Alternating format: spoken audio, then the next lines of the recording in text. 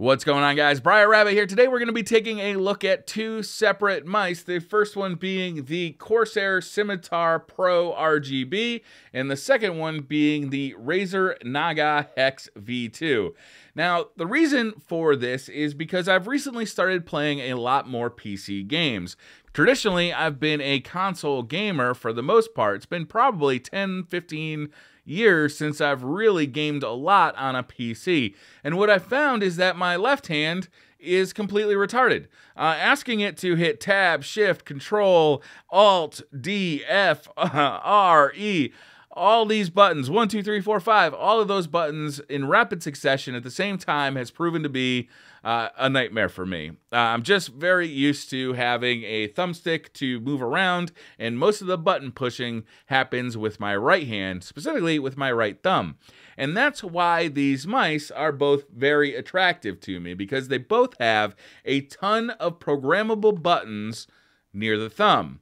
So we're going to be taking a look at both of these. I'll be reviewing them, comparing them, and telling you which one I like better uh, very much from the viewpoint of a console gamer moving over to a PC. So let's get into it. All right, guys, now that you know a little bit about me and where I'm coming from for the purposes of this comparison, let's jump into the mice and the comparison itself. Now, it bears out that these mice are actually more similar than they are different. They both have 16,000 DPI sensors, very fast response times. They both have fully programmable uh, RGB lighting and fully programmable side buttons, and plenty of them on both mice.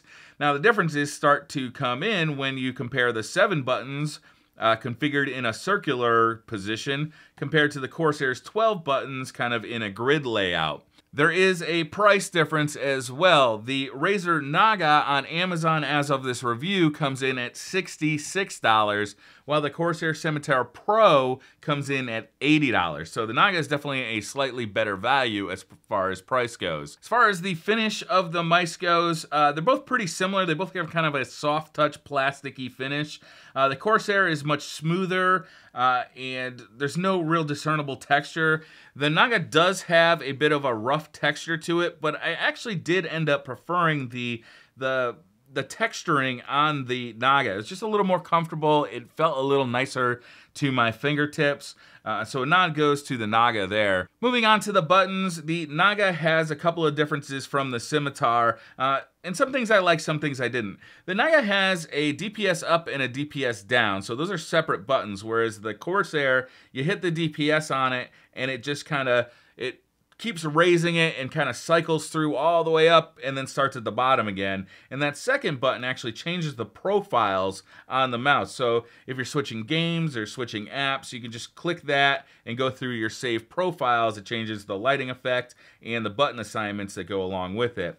On the side of the mice, uh, I did enjoy the Naga at first because it was a lot easier for my console-based brain to understand. The buttons are laid out in a circle it was very quick and easy for me to get used to. It took a hour or two hours to really start hitting these buttons without having to think about it. And I like that. But I will say this, the Corsair took longer for me to get used to, longer for me to instinctually start hitting the correct buttons. But in the long run, I did appreciate that there were more buttons. Uh, there's 12 as opposed to the 7 on the Naga. And even though they're laid out in a grid, which meant that it was a little harder to just fly my thumb over to the correct button. Once I did get used to it, having the extra buttons did help me out. Also, it's worth noting that you can actually move that pad that the buttons rest on by unscrewing the small screw with the included hex wrench. Um, and you can actually move that to exactly where your thumb rests naturally, which is a nice feature. Depending on the length of your thumb or the size of your hand, uh, that might be in different place for different folks. With the Naga, obviously it's set in one place. For me, it was actually set a little too far back. Um, so with my palm directly on the mouse, my thumb was not resting in the middle of that. So I really had to back up to hit the six and the seven keys, which uh, the Corsair pretty much took care of just by adjusting that pad. Uh, and I like that quite a bit. For comfort, I gotta say, I did enjoy the Corsair a little bit better, but I think that's going to be purely personal preference. The Naga's highest point is toward the back of the mouse here, where the Corsair's highest point is toward the middle of the mouse. So with the Naga, my the main pressure point was right in the middle of my palm, and my palm didn't actually rest on the mouse pad. With the Corsair, my palm did rest on the mouse pad, and personally, I like the feel of the Corsair a little bit better than the Naga, but that is going to be absolutely personal preference. For software, there was a huge difference. The Naga software, the Razer software, was much easier to use, much clearer to use uh, but had less options in it than the Corsair. So when I plugged in the Naga, I was up and gaming within a few minutes. I plugged it in, downloaded the software, and within 10 15 minutes, I was gaming with fully assigned buttons. With the Corsair, I plugged it in, downloaded the software. It took more like an hour to get the mouse set up like I wanted to.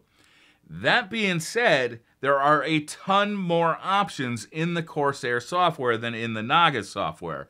So it's really going to be a personal preference here. For me, I just like having it simple. I like being able to set it up very quickly, get going. Once I adjusted these buttons, I'm probably not going to touch that software again uh, until, I don't know, the next time I get a computer.